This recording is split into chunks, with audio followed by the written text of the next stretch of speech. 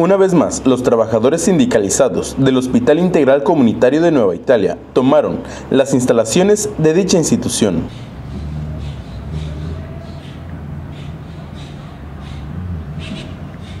Aquí, Claudia López Sánchez, delegada sindical, en el ya mencionado nosocomio manifestó el porqué de este paro de labores.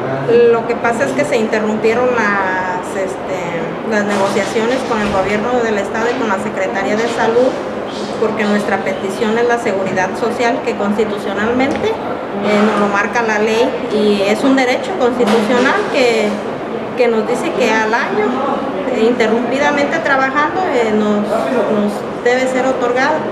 Entonces es, hay personas, compañeros de aquí del hospital tienen hasta siete años sin seguridad social. En esta misma ocasión señaló que el hospital continuará tomado hasta que las autoridades estatales les brinden una adecuada seguridad social. Eh, pues vamos a tener paciencia porque el gobierno ya declaró, más que nada el secretario de salud, que, que no va a negociar bajo presión y si nosotros hemos tenido pues muchos cinco años, siete años, tres años esperando la seguridad social, pues nos podemos aventar un buen de tiempo aquí, pero vamos a terminar esto hasta que el gobierno así lo decida.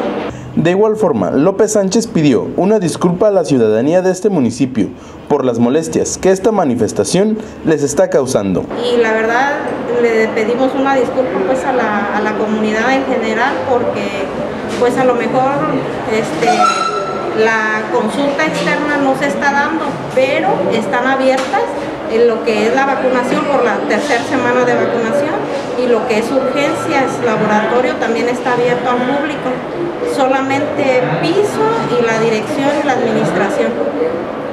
Digo, perdón, este, eh, consulta externa. Finalmente, llamó al gobierno del estado a brindar la seguridad social que por ley les corresponde.